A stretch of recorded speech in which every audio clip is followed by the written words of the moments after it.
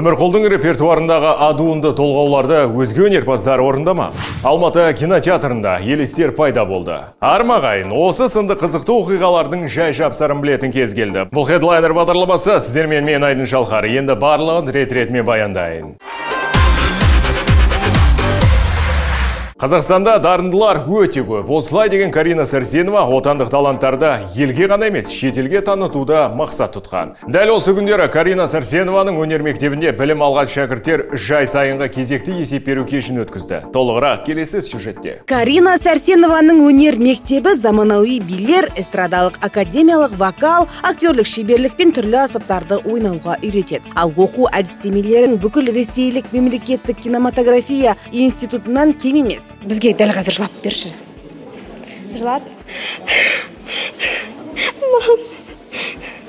қазір қуанышты бір бақыттың бір рөлін сомдап берші бізге. Мама мен жақында оқуға түстім білесіздер ме? Аяжан баянова өнерге бала күннен құштар. Мұны байқаған ата анасы еш ойланбастан қыздарын карина сәрсенованың өнер мектебіне беріпті. Бүгінде ата анасы ғана емес ұстаздары да балауса қыздың болашағынан зор үміт күтеді. Жаңадан ашылғанын білдік. Келдік көрдік алдыңғы жаңағы қыздарға сертификат бергенін көрдік. Сосын мен де оқимын деді. Сонымен сол вокалға жаңағы актерский мастерствоға қатысып жүр құдай қаласа жаңағы аксимда дальше колледжде оқимын деген ниеті бар. Қайда жүрсің көрінбейсің? Бүгінгі жастардың талғамы жоғары. Осылай деген мирас кенияров осы білім ордасының тәлімгері. Сұхбат барысында жігіт оқу әдістемелері жайында айта кетті. Бала келген кезде дауысын қарайсың дауысын тексересің. Егер дауысы жақсы болса қалай мысалы бір үш кезең болады мысалы. Ең басты кезең ол дауыс қою деген сияқты. Ол әрине вокализден бастаймыз распевкадан бастаймыз сөйтіп. Екінші деңгей ол дауыс қойғаннан кейін уже басында жеңіл өлеңдер сосын бір кішкене қиындау өлеңдерге көшесің сөйтіп. Үшінші деңгей ол уже бір сайыстарға қатысамыз деген сияқты бір. Эсті бразерс тобының серілері мұндағы ұстаздардың білімді әрі білікті екенін айтады. Рас бізді мектепте тура солай үйреткен болатын. Колледжда да мысалы маған ә, мұғалімім тек қана қазақтың күйлерін ғана емес сонымен қатар әртүрлі халықтардың шығармаларын да бәріне жалпы жан жақты қылып өсіруге тырысты. Соның арқасында біз де сондай болдық деп ойлаймын. Карина сәрсенованың өнер мектебі каспий университеті мен алматы құрылыс және менеджмент колледждерінің ішінен ашылған. Сондай ақ ол арнайы лицензияланған. Мұнда орта мектептеріндегі тоғыз бен оныншы сыныпты бітіргендер келіп оқи алады. Құрметті ата аналар құрметті оқушылар біздің мектепке келіңіздер. Карина сәрсенованың өнер мектебі баршаңызды күтеді. Айша төленді илья иванько хедлайнер Өмірқұл Айниязов зейнетке кетуге асқан сияқты себебі мәдениет қайраткері қазақтың дәстүрлі өнерін дәріптейтін шәкірттерді тауып алып, бар күшін солардың шығармашылығына жұмсауда. Өнер иесінің халықтан сүйінші сұрарлық жаңалығы келесі кадрда. алатау алтай деген атырауым арасы жалпақ жатқан атырауым өсиет толғау термені заманауи мақамда әрлеп көрерменге ұсынып жүрген өмірқұл айниязов қартайдым деді ме кім білсін шәкірт тәрбиелеуді қолға алған дәстүрлі әншіліктің қыр сырын өнер иесі семсер триосына үйретіп жүр. Менің інілерім өнерде жол көрсетіп жүрген ә, бауырларым десем болады. Үш жігітті мен осы өнерде жүріп ақтөбеде өткен бір өнер додасы дейміз ғой мына конкурста мен осы жігіттерді көргем.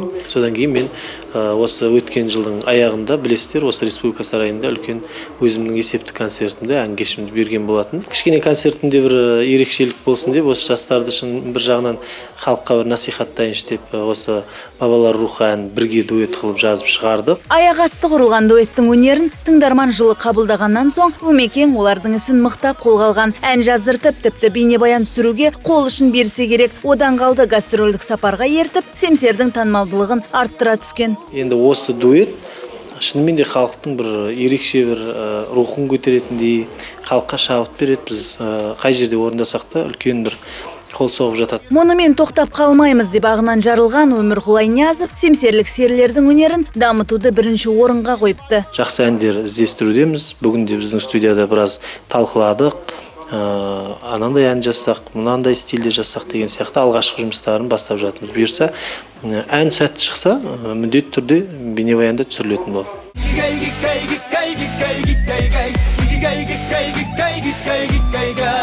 Айдана құрманғали илья иванько хедлайнер Енді инстаграмдағы гугу әңгімелерге кезек берсек, бүгін танымал тұлғалар қайда барды, не істеді? Рет-ретмен тілшіміз баяндап берсін.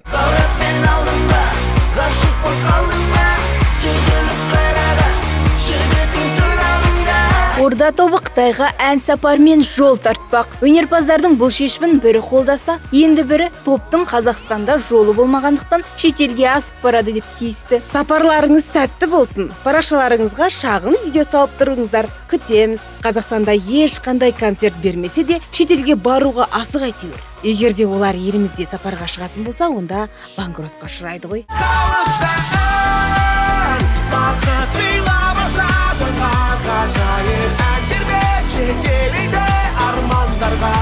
Орда тобы қытай асса қайрат байекенов өзінің ән сапарын ресейден бастауды жөн көріпті. Өнер иесі кештен алған әсерін бір жапырақ суретпен бөліскен. Жарайсыздар. Ақжол сендерге концерттерің халықтың көңілінен шықсын. Оған сенімдімін. Алла жар болсын. Ти ти ти ти ти менің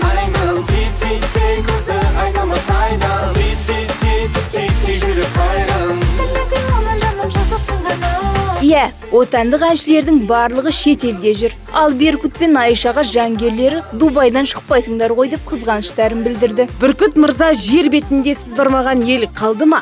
Айшаның бағы бар екен сіздей жігітке тиген әрбір қазақ қызы армандайтындай жігітсіз ғой? Не деген бақыт апта сайын барасыз ғой. Барлығы ағылып басқа елде жүрсе қанат әлжаппар ауылда жүр. Далада деген жазбасын көрген жұрт бірден талқылауға кіріскен. Далада тамақ күшті кетеді. Отырыстарың зор. Үйдің іші емес дала екені көрініп тұр. Көріп тұрмыз далада екенін братан. Жұлдыздай жарық жанамын аша матайдың әр суретінің астында қызу талқылаулар жүріп жатыр. Бүгінгі күні жұртты қызықтырғаны ашаның аяғы ауыр ма әлде жоқ па? Әзірге бақытты ерлі зайыптылар ол туралы ләм демей отыр. Алайда белсенді желі қолданушылары актрисаның киім стилінің өзгергенін бірден байқаған. Аша толып кетіпті кажется беременная. Аяғы ауыр болса ауыр шығар. Күйеуі бар ғой. Иә елдің бәрі оның әпкесі үшін алаңдап жатса ол күліп тұрған сурет салып қойыпты. Сен сен сен сен құралаймысың сен сен сен сен сен менікісің нұрлан испанов пен бақыт шадаева ақ халаттыларды қуантып жүр. Иә әншінің жетінші аурухана деген жазбасын көрермендер бірден байқап әншінің қатесін түзеткен. Бұл бірінші больница ғой шатаспаңыздар. Мына меймандар сап-сары халаттылар ғой нұраға олар балапандар билеген айгүл есімбек хедлайнер Солтүстік Америкада түсірілген Дуа 2 картинасы Қазақстандағы үлкен экраннан көрсетілмей жатып 40 миллион доллар жинап үлгерген. Ақышта 10 маусымда көрерменге жол тартқан фильм тылсым оқиғалардан құралады. Шытырман оқиғалы туынды туралы толығырақ Айша Төленді тарқатып айтып берсін. Вы же верите нам? Чувствуешь присутствие? Я не чувствую ничего. 15 маусымда дуа 2 шытырман оқиғалы картинаның тұсауы алматыдағы бекмамбетов синемасында кесілді шетел экрандарында жарық көргеніне бір апта бола қоймаған туынды ақшта жаңа кинолардың рейтингісі жағынан алғашқы орында тұр оның үстіне кешке келген көрермендердің көңілін ұйымдастырушылардың ойластыруымен мына бір кейіпкер өзіне қаратқан фильм режиссері джеймс ван бұған дейін де талай қорқынышты туындылармен танымал. Сондықтан да оның көрерменнің үрейін алуда тәжірибесі мол екен. Бір қобалжитыным дуа екі киносы екі сағат көрсетіледі екен. Бұл өте ұзақ. Дегенмен де джеймс ван жақсы дүниелерді жасай алады. Үрейлі музыкаларды ойластырып қойған. Егер бір сәтке болса да әсер алғыңыз келсе онда дуа екі сіздерге арналған. Киноның сюжеті өмірден алынған деседі. Оқиға 1977 жылы орын алған. Эд пен лоррейн уоррендер тылсым күштің сиқырын анықтау үшін англияға барып хаджсындардың үйіне тұрақтайды. Осылай олар адамдарға белгісіз дүниенің жай ғана елес екенін немесе бұл күштің сырын анықтауға тырысады. Нам очень понравился фильм. Кино өте әсерлі. Кинотеатрда қорыққан адамдардың жан дауысы шығып жатты. Маған өте ұнады. Және сіздерге де көруге кеңес беремін. Фильм реально классный. Біріншісінен қарағанда дуа екі қорқынышты. Шынымды айтсам мұндай киноларды ұната бермеймін. Дегенмен де келіп отырмын. Жігіттер егер сүйіктілеріңіз сізге жақын отырсын десеңіз дуа екіге келіңіздер. Айша төленді илья иванько хедлайнер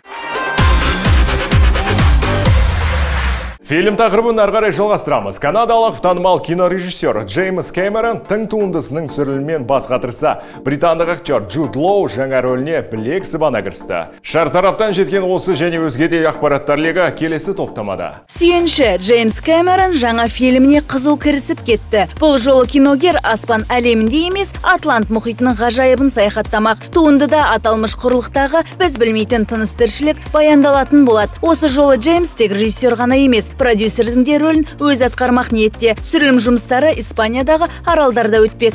Джуд лоудың жас әке сериалын әр жастағы көрермен сүйсіне қарайтын анық. Себебі басты рөлді сомдайтын актердің имиджі түбегейлі өзгермек. Британдық әртіске енді 13-ші пиарим папаның образын сомдау жүктелген. Бүгінде дәл осы фильмнің алғашқы тизері жарыққа шығып үлгерді. Голливуд жұлдызының бұдан өзге қызықтарын жуырда білетін боламыз. Кино әлеміндегі жаңалықтарымызды әрі қарай жалғастырамыз. Еске сала кетейік таққа талас сериалының 6 маусымы жуырда өз мәресіне жетпек. Сондай ақ қиял ғажайыпқа толы драманың жетінші кезеңі 8 бөлімнен құралатыны белгілі болды айтқандай ресей киногерлері телехикаяның соңғы бөлімін үлкен кинозалда көрсетуді жоспарлап отыр айдана құрманғали хедлайнер Бағдарламамыздың қызықты сюжеттерін ютубтан көріп біле аласыз. Сондай-ақ инстаграмдағы айқұла ktv.kz парақшасына да қосылуды ұмытпаңыз. Мен сіздермен қоштасамын. Көріскенше күн жақсы.